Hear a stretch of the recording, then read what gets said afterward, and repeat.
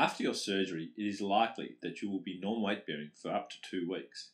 This means that you will need to hop on your good foot. Pickup frames offer more stability, especially if your balance and upper body strength are poor. Simply place the frame in front of you and then hop up to the back legs of the frame, pushing down through the frame with your hands.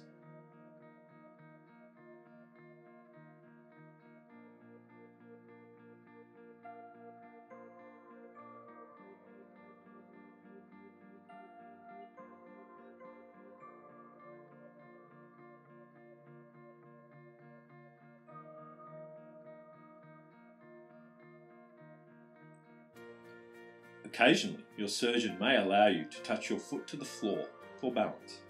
Simply place your foot on the ground and step through with nearly all of your weight going through your hands and the frame. Your physio will tell you if you need to put more weight on your heel or toes. Frames usually fold up for ease of storage. Get whoever supplies you with the frame to show you how to do this safely.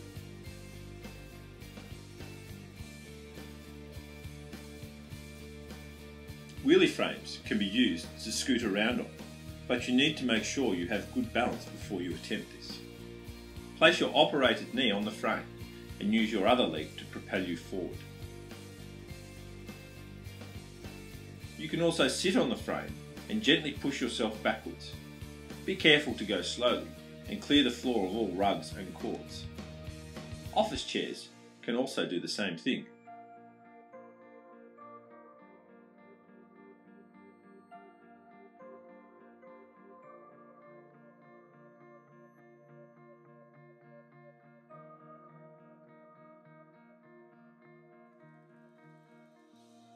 Finally, if you live in a big house and there's lots of space, wheelchairs are a safe and useful way to move around with.